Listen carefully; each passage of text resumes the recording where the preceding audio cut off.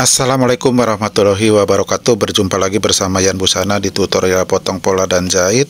Dan di video kali ini saya akan membuat variasi leher drapery ya. Ini untuk bukaannya sudah saya gosok ya. Ini lebarnya 3 cm dan uh, panjang bukaannya 16 cm Oke lalu kita ukur untuk lingkar lehernya. Untuk sebelahnya 16 cm lalu kita potong buat jadi 32 cm keseluruhannya ya. Oke ini untuk lebar drapery-nya kita buat 6 cm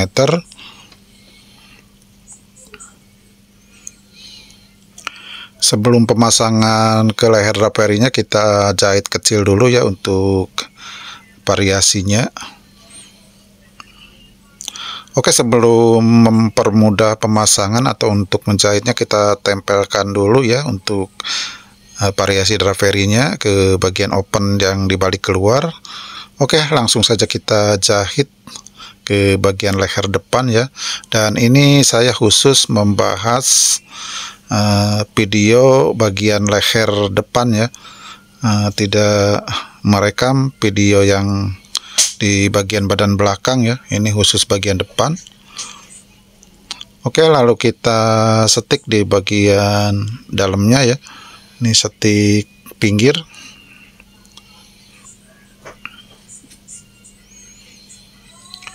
Oke setelah itu lalu kita jahit untuk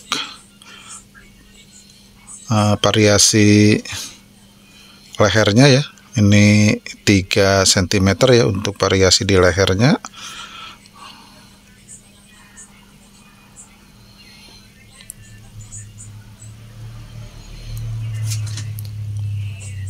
Oke kita ukur dulu untuk pemasangannya 16 cm ya untuk bersihnya.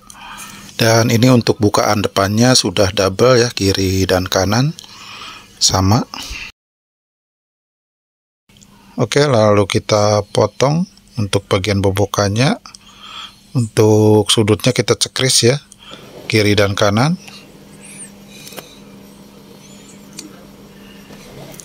Oke lalu kita balikan dan kita masukkan ya ke bagian bukaan depan untuk badannya ya. Kita selipkan saja. Nanti seperti ini cara pemasangannya. Kita jahit dulu untuk bagian atasnya ya. Untuk bagian bukaan depannya kita jahit atasnya dulu sebelum mematenkannya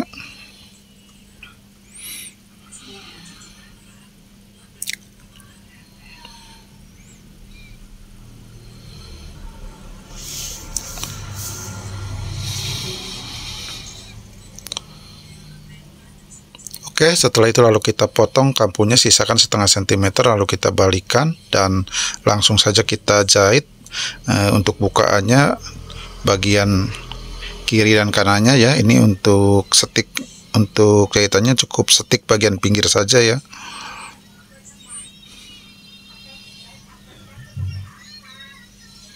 Dan ini caranya masukkan langsung ke bagian bukaan depannya ya. Kita selipkan untuk badannya Oke pemirsa untuk video kali ini cukup sampai di sini saja. Semoga bermanfaat buat pemula khususnya.